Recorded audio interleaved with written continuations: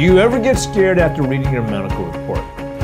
Does the report mention terms like cancer, infection, or fracture?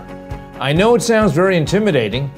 I've had people come to my office tell me that their last doctor said they did not have cancer, but then their report made it sound like it was possible.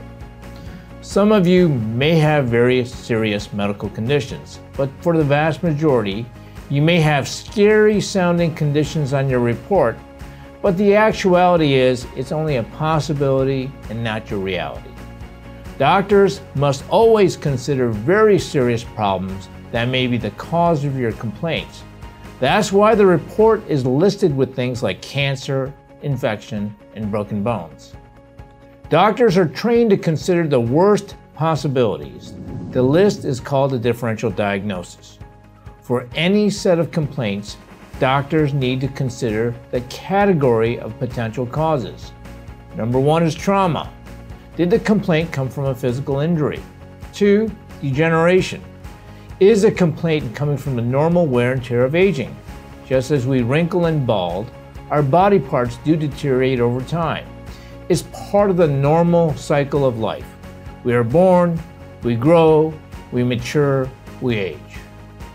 Three, infection. Can the cause be an infection that causes destruction of the body?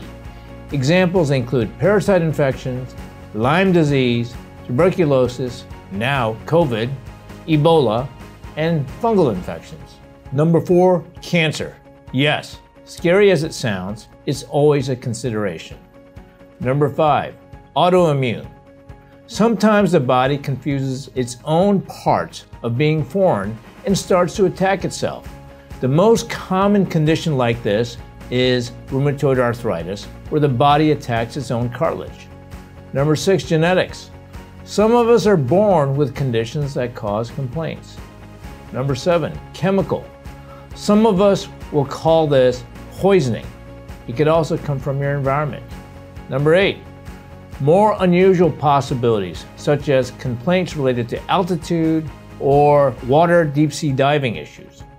Also in the future, zero or low gravity issues related to space travel can cause a number of conditions.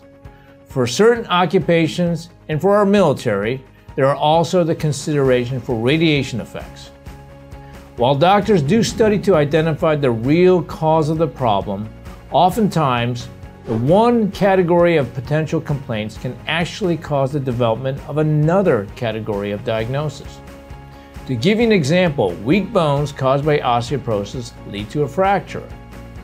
In this scenario, there is the degenerative process, there is a traumatic process, and there's a genetic process that all contributes to the complaint. When you read your doctor's notes to other doctors, don't be alarmed. Doctor's notes always contain possibilities of the causes of your complaints. It does not mean that is what you have. Don't be scared by reading that report. Doctors are trained for years to communicate with each other and to consider the most serious possibilities and the notes will reflect that. Don't let the notes give you nightmares. It's like a list of possibilities. Fortunately, most of the time, and especially for spinal complaints, it's rarely a life threatening one. Thanks for watching. If you'd like more information about similar topics, please subscribe to our newsletter or to our YouTube channel. Thank you.